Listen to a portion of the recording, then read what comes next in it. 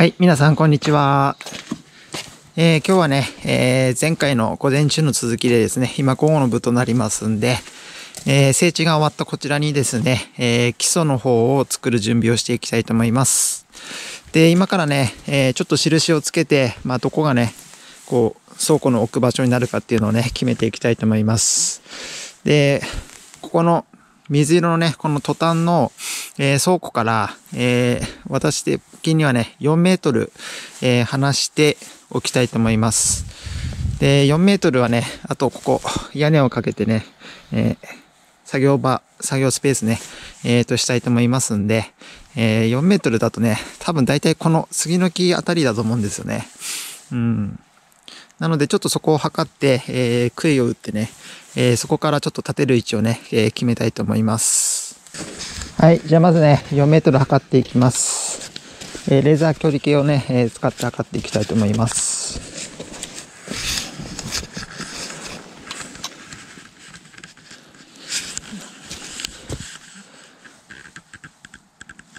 うん、ここだな。はい、それじゃあね、ここがえー、ちょうど4メートルかな。はい、じゃあここが4メートルですね。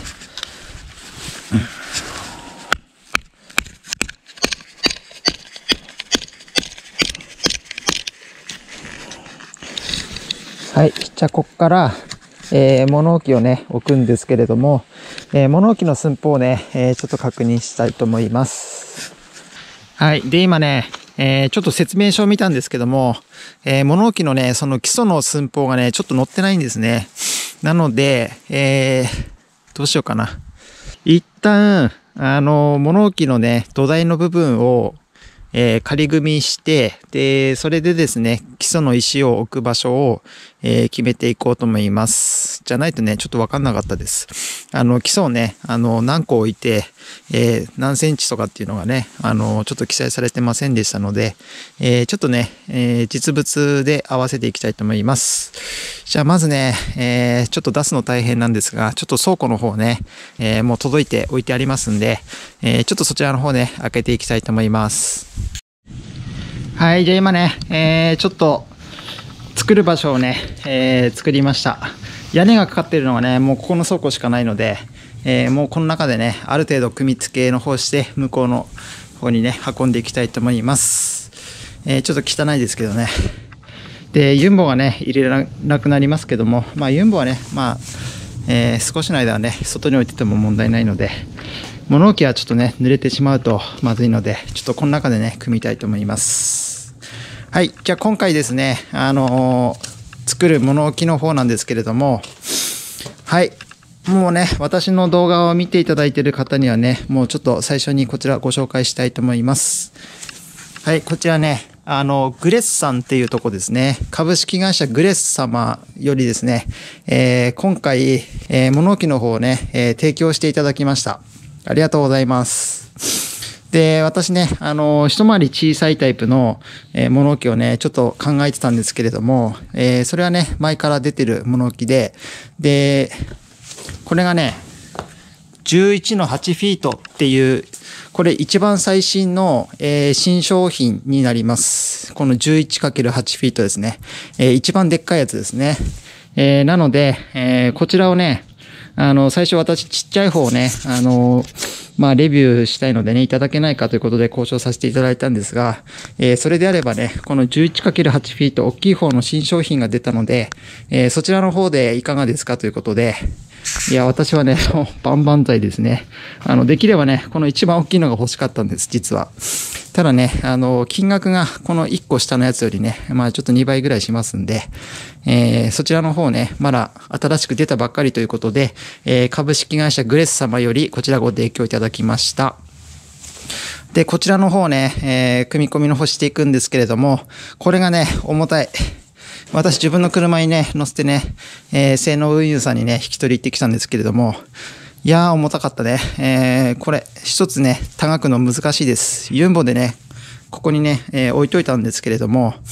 これをね、ちょっとね、手でこっちに戻すのはちょっと無理なので、えー、ここで一回開封しまして、ちょっとね、部品の方、えー、ある程度出していきたいと思います。全部出すとね、ちょっとわかんなくなりそうなので、えー、土台に使う部分だけですね、えちょっと出していこうかなと思います。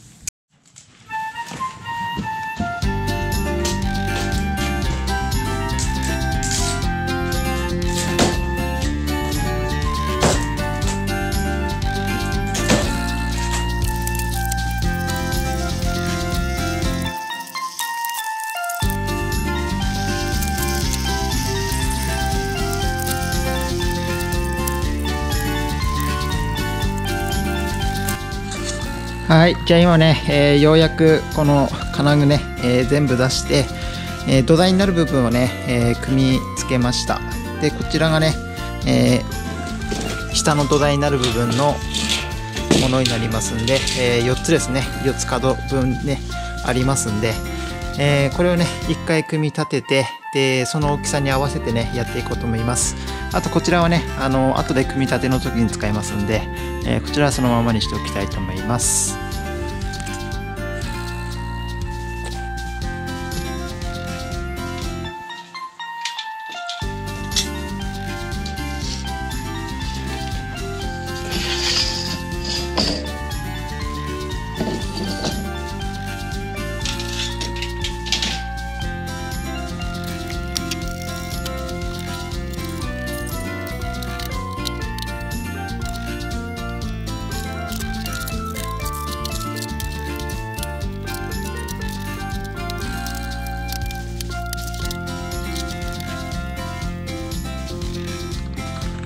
はい、じゃあね、えー、今下の枠の方ができまして、えー、大きさ的にはね、こんな感じになります。わかりやすいですね。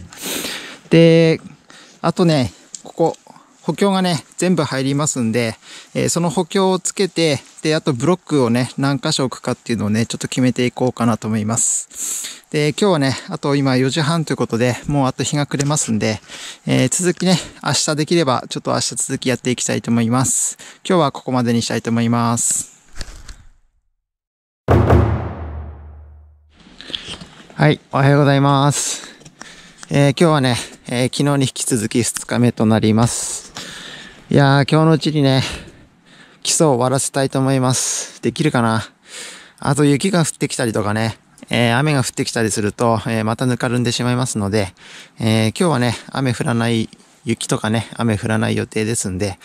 えできればね、今日中に完成させたいと思います。ただね、こんなあの土台とかね、基礎とか作ったことないので、ちょっと初めてなのでね、えー、できるかわかんないですけども、まあちょっと YouTube とかね、えー、見て勉強しましたので、えー、ちょっとそれで作っていこうかなと思います。今ね、ちょうど10時です。夕方までに出来上がれば一番いいんですけども、次来れるのがね、えー、来週になりますので、えー、1週間後、えー、組み立ての方ね、入れれば一番最高なんですが、いや、今日ね、ちょっと頑張ってやっていきます。今日はね、あの、お昼の弁当を買ってきてません。もうね、弁当を食べる時間が多分ないので、えー、今日はもう、ずっとね、この作業終わるまでさせていただいて、えー、終わったらね、あと弁当買いに行きたいと思います。なので、えー、ちょっと今からね、やっていくんですけれども、えー、枠組みね、えー、昨日作りまして、えー、そこにね、あの補強のこの、えー、ございます。なんていうのかな。まあ、床板をね、この上に貼るようになるんですけども、えー、この補強のバーもありますんで、で、これもね、やっぱり基礎を乗せないといけないと思うんですね。えー、柔らかいですんで。えー、なので、えー、ちょっとね、ブロックの数と、あと基礎を置く場所をね、えー、ちょっと正確に決めていきたいと思います。で、まずね、この周りの部分の基礎と、あとこの補強のバーのね、えところにも基礎をね、やっぱり何個かずつ入れないといけないと思いますんで、えー、ちょっとそこをね、あの、ちょっと均等に配分して、えー、決めていきたいと思います。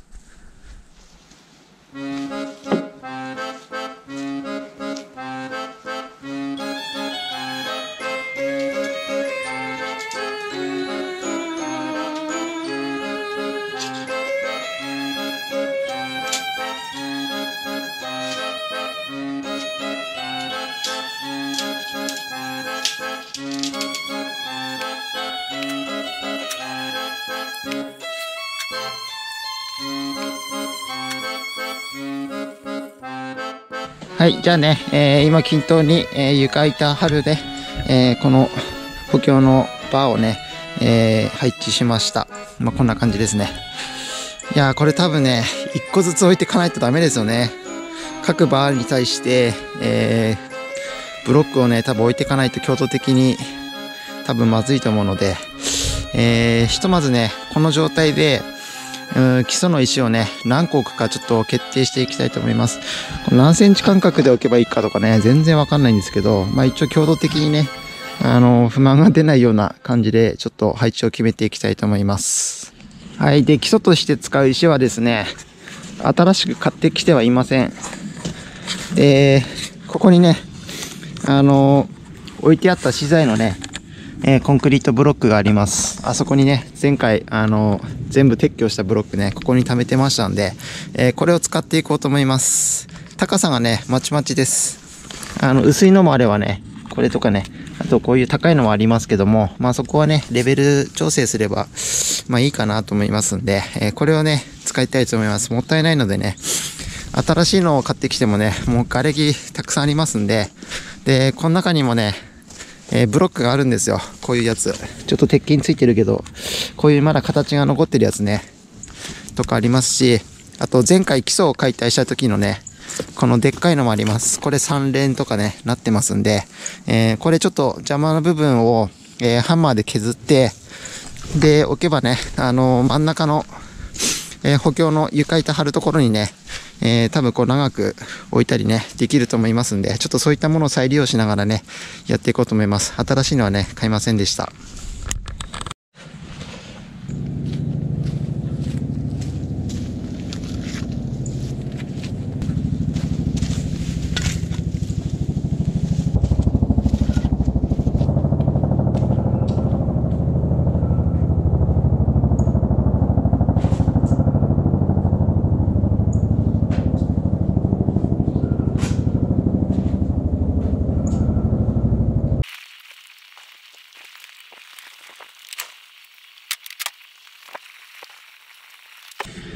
はい。一回ね、あのー、ちょっと外側だけ並べてみました。あの、何センチ間隔で並べればいいかわかんないんですけど、まあ、これぐらいあれば多分、強度的に大丈夫かなという、えー、横4つで、えー、奥行きをね、え、2つ入れました。で、これをね、一回ちょっと、あの、仮にね、土台を乗せていきたいと思います。で、そこからね、あと中に入れる、え、基礎の部分ね、えー、計算したいと思います。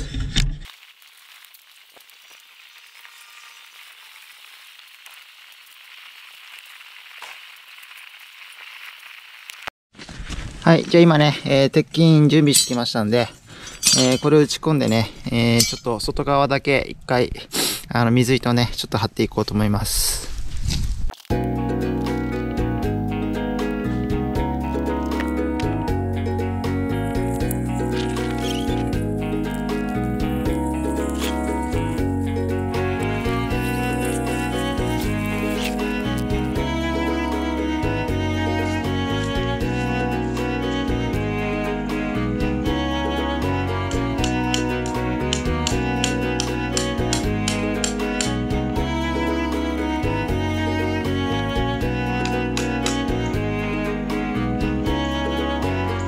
はい。じゃあ今ね、水糸を張りました。まだレベルは出してないですけども、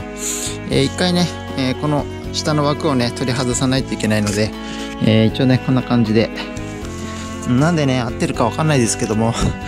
まあ、あの、素人の DIY なので、まあ、こんな感じでいいのかなって、一応あの、下のね、土台の枠にぴったり合わせて貼りました。一回そしたらね、えー、ちょっとこの土台をちょっとそっちの方にね、避けたいと思います。はい。それじゃあですね、えー、今、水糸の方の水平出しの方が完了いたしました。で、こちらのやり方に関してはですね、えー、シグマンさんのレーザー墨出し機を使ってやりまして、えー、そちらのレビュー動画の方ね、上げておりますので、ぜひそちらの方からですね、この水糸の水平の出し方ね、え、見ていただければと思います。まあ、私も素人でね、こんな水平出しね、初めてやりましたけれども、あのーレーザーレベルあればね、もう一発でできます。素人みたいなね、私でもね、DIY で十分使えます。なのでね、えー、まあ、ぜひね、そちらの動画の方を見ていただければと思います。えー、それじゃあですね、今水糸を張りましたので、この高さに、あの、ブロックを合わせていくんですけれども、一旦ちょっとね、あの、締め固めるために砕石を、えー、入れたいと思いますので、ひとまずこの周り、ね、一周分ね、えー、こちらの方を、えー、一回、掘りまして、で、そこに採石を入れてね、えー、ちょっと転圧して、えー、いきたいと思います。で、レベル出しということでね、えー、今ね、もう1時です。今日終わんないですね。はい、ちょっと頑張って進めていきます。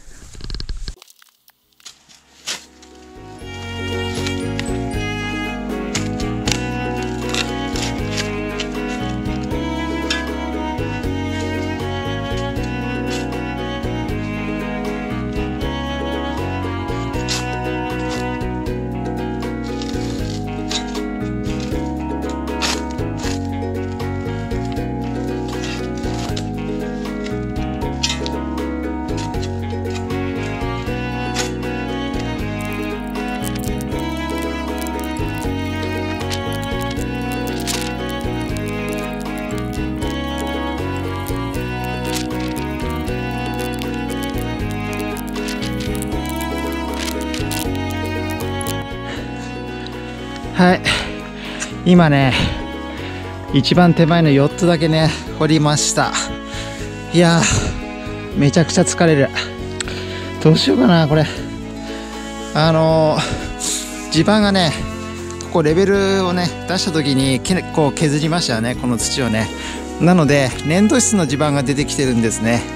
で粘土質の地盤なので結構硬いです。スコップでねあのー、簡単にはねちょっと掘れない硬さですね。まあ、逆にねもう地盤がまあ硬いですんで、えー、まあこれぐらい今水糸からね、えー、下げてますのでもうこれぐらいの砕石ね、えー、入れてあとちょっとセメントで、えー、固めてねレベル出しすればいいかなっていう感じ になってきましたあのもう体力的に結構厳しい今この4つやるだけで大体15分ぐらいえー、かかってます。どうしようかな。ユンボ入れようかな。ユンボ入れてもいいんですけど、水糸も張っちゃったし、大丈夫かな。で、なんかね、さっきからちょっと雨っぽいのが降ってるんですよ。マジか。ちょっとね、ユンボ入れます。で、ユンボね、ちょっとバケットの幅広いんだけど、まあ、いいでしょう。あの、掘ってね、えー、そこにちょっと砕石入れて、えー、ちょっと締め固めてね、えー、最後、レベル出しね、え小さい砕石ありますんで、それでちょっとレベル出しをしてね、えやっていこうかなと思います。ちょっと一旦休憩入ります。なんかね、今一瞬だけね、あの、みぞれみたいなね、氷みたいのがね、降ってきましたね、大量に。で、今ね、晴れたのでね、えちょっと再開します。ユンボをね、向こうに落ちたので一回持ってきて、あと残りのブロックのとこね、えー、ちょっと削っていきたいと思います。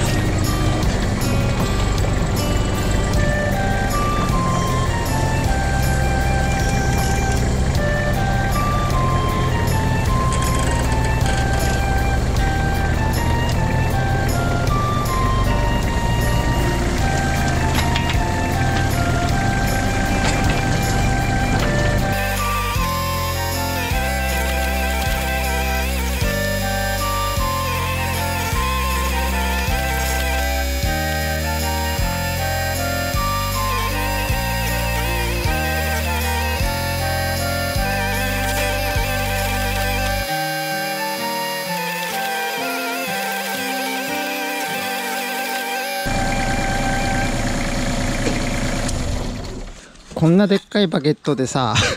こんなに掘ったら、逆にぐちゃぐちゃになりそうだな。どうしよう。まああの、掘るのはすごい簡単なんですけども、周りまでね、全部掘り返してしまいます。やっぱりね、ユンボ使うのやめました。周りもね、全部掘り返してしまって汚くなってしまうので、えー、戻すのがね、ちょっと大変です。なのでね、ちょっとここら辺掘り返しましたけども、もうね、バケットが大きいのでダメですね。なので、もうしょうがないので、手作業で、もうね、ブロック1個分ずつ全部掘っていきます。ああ、今日終わるかな？もう、もうちょっとで2時だ。はい、ちょっと頑張ってやっていきます。はい。じゃあようやくね、えー、今外周の基礎のブロックをね、えー、全部掘り返しまして、えー、ちょっとレベルをね、下げました。いやー、辛かった。これで終わりじゃないのでね、あと中にもブロック多分何個か置かないといけないですんで、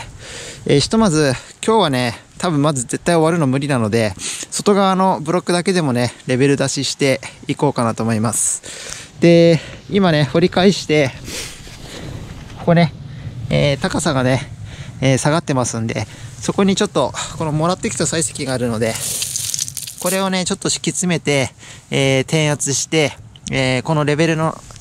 水糸のね、えー、若干下ぐらいにね、しようと思います。あと最後ね、モルタルで調整しようと思いますんで、えー、一旦ね、ちょっと採石を入れて、えー、締め固めたいと思います。えっ、とね、ちょっとやり方を変えます。あの細かい採石だけだとね、えー、ちょっと転圧するまでに結構な厚さを入れないといけないので、で、足りなくなります。なので、ちょっともらってたね、この40の、40ミリの採石、これがあるので、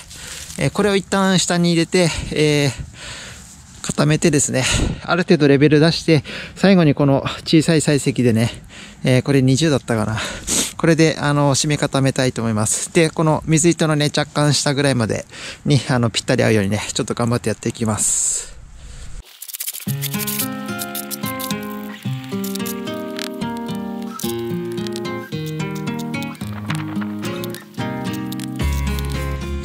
ちょっとね、やり方わかんないけど、まあこんなもんでいいのかな。あの、今、ちょっと大きい採石とね、えー、小さい採石、えー、を入れて、えー、ちょっとブロックの高さを調整にね、え細かい方でちょっとやってみようと思って、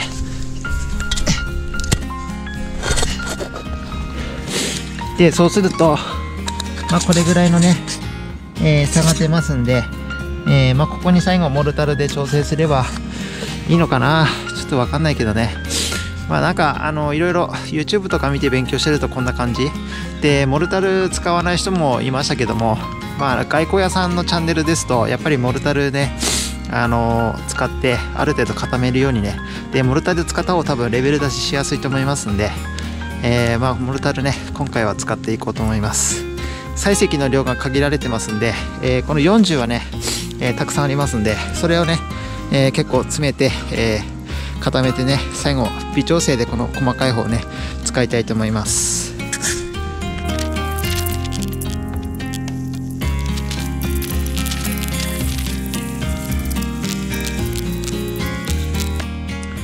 はいじゃあ今ね、えー、前面の4つやりました。あこれはねかなり重労働なんですがまあ穴掘るよりはねまあ楽ですね。はいじゃあこんな感じでねまだ水平出しはしてませんのでえー、こんな感じで残りのブロックね頑張ってやっていきます。どこまでできるかな。今3時です。タイムリミットはね4時半頃になりますんで、えー、頑張ってやっていきます。はいそれじゃあね、えー、今1周分の、え基礎の石をね、え採石を入れて締め固めました。こんなこんな感じですね。いやー疲れた。ほんとね腰が痛くなりますね。外交屋さんはほんとすごいね。えー、そしたらですね、一旦ちょっとこの枠を戻して、次にね、中に入れてく、あの補強のね、えー、バーがありますんで、そこに敷く、えー、1決めね、えー、石をね、置く1決めをね、していきたいと思います。え、ちょっとね、時間が限られてますんで、あと1時間ぐらいね、え、ちょっと頑張ってやっていきます。はい、今ね、え、下枠の方をもう一回ね、ブロックに乗せました。ほんとね、水糸ぴったり出てますね。よかった。で、えー、中に置くブロックなんですけれども、あの、これね、えー、7個あるんですよ。このバーがね、7つあります。で、これはね、さすがにそのままにはいかないので、こうね、えー、ペラペラですんで、これはやっぱり下にね、ブロックを置かないといけないです。で、この7個分ね、ブロックは無理ですよね、これ。どうしようかな。えー、7個もね、こうブロック全部置くわけにいかないので、そしたらもうね、コンクリートで固めた方が早いってなっちゃうので、えー、今ね、ちょっと考えて、あのー、横にね、こう、横に、えー、3つか4つぐらいですね、えー、長く、こう、ブロックを入れていこうと思います。で、そこで考えたのが、前回ここにあった基礎、解体しましたよね、ユンボで。で、その基礎がね、これ、今出してきたんですが、全部ね、ブロック繋がってるんですよ。で、もうモルタルでね、えー、ブロック3つとかね、もう全部繋がってます。で、これ鉄筋も入ってましたね。なので、えー、これをちょっとね、使おうかと思います。で、これを使うために、まず、一回鉄筋をね、全部切りまして、えそっからね、えー、このモルタル、スチャリね、この余計な部分、これを全部ね、一回ハンマー、電動ハンマーでね、えー、砕いて平らにして、で、それをね、置いていけば使えるんじゃないかということで、これ細長くてね、ちょうどいいので、まあ3つとかね、えー、2つとかのブロックが繋がってますんで、それをね、置いていけば、えー、それなりに作れるんじゃないかということで、えー、これをね、使おうと思います。えー、今日はね、多分これを準備してればもう終わりになりますんで、今からあと鉄筋カットですね。えー、鉄筋のカットと、あとちょっとモルタルの部分ね、えー、削り落として使えるようにね、ちょっとやっていきたいと思います。いやー、これは大変だ。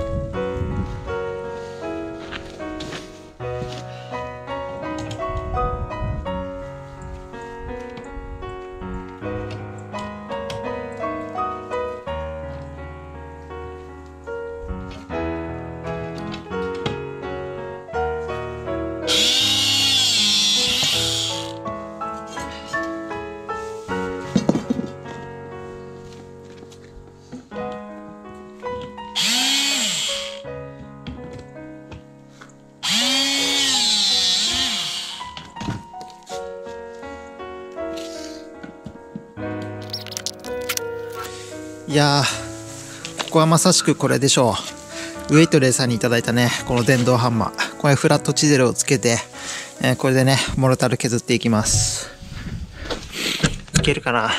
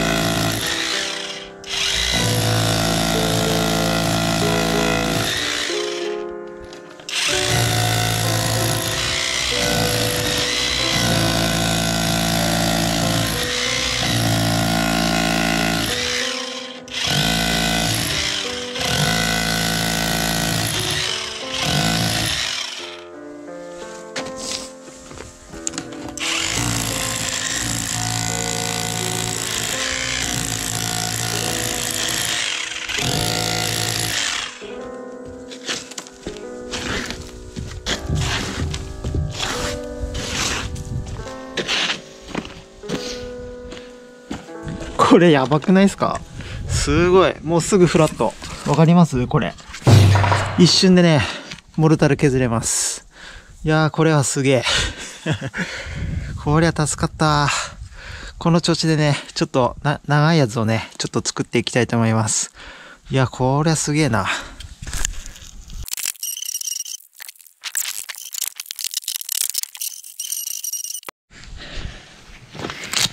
すごいなんかね、口の中にね、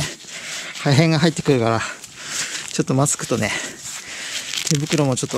変えます。やべ、メガネが曇る。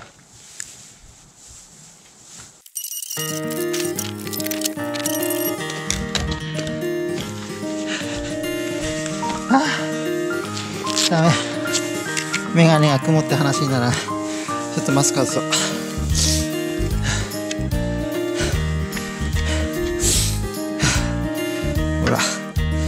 メガネがすぐ曇っちゃう。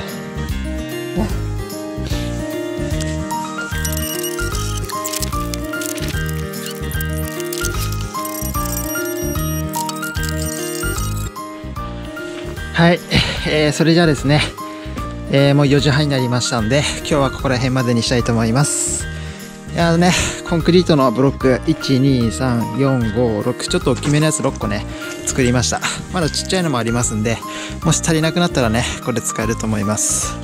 まあ、あと、次回来た時にこれを置いてみて、あと寸法がね、足りるかどうか、ちょっと確認したいと思います。いやー、疲れた今日は。あの、本当にね、今日昼ご飯食べてませんぶっ続けてやりましたけども物置喫茶店乗ってこんなに難しかったっけかな いやねもう外交屋さんとかならねパパッと1日でできちゃうんでしょうけどもいや素人にはねちょっと厳しいですねまあ、あの、徐々にね、基礎の方を完成させて、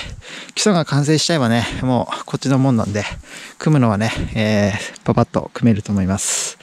じゃあ次回ね、また、えー、基礎作りの方になりますけれども、えー、動画の方ね、えー、送りたいと思います。今日はここら辺までにしておきます。ありがとうございました。